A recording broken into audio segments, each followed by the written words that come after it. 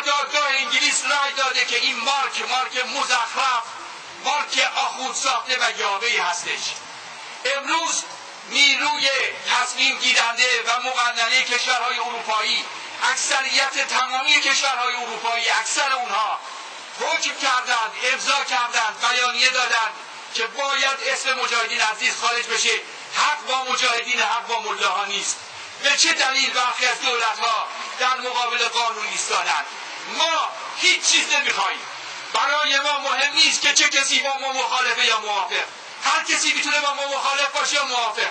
این اهمیتی نداره. ما یک چیز می‌خوایم قانون رو اجرا کنید قانون رو اجرا کنید قانون رو اجرا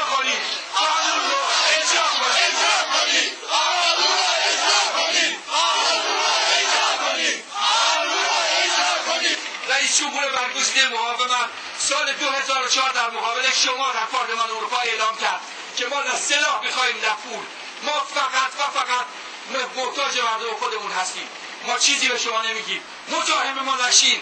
از سر راه ما کنار بریم. بذاریم که مردم ایران هم به آزادی به دموکراسی و عدالت برسن. آیا عدالت خوبه فقط برای شما؟ آزادی خوبه برای شما فقط اینطور نیست. مردم ما شایسته ترین مردم برای آزادی هستند شایسته ترین مردم برای عدالت هستند شایسته ترین مردم برای این هستند که خودشون به خودشون حکومت کنن. برای آخوندهای مزدور و تروریست بنابراین ما اینجا ایستادیم. خواهیم ایستاد. سرما گرما ما رو از جاش تکون نمیده.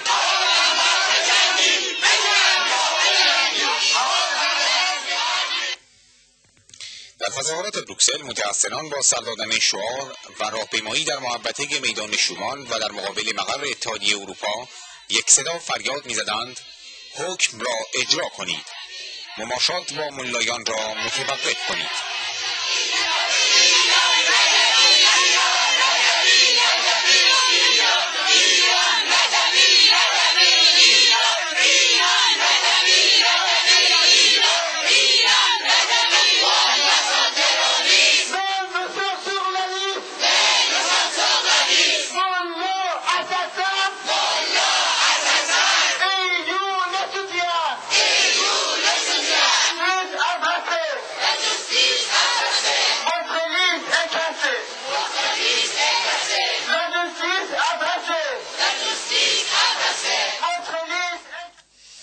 چهارمین تظاهرات ایرانیان آزاده و هواداران مجاهدین در دانمارک در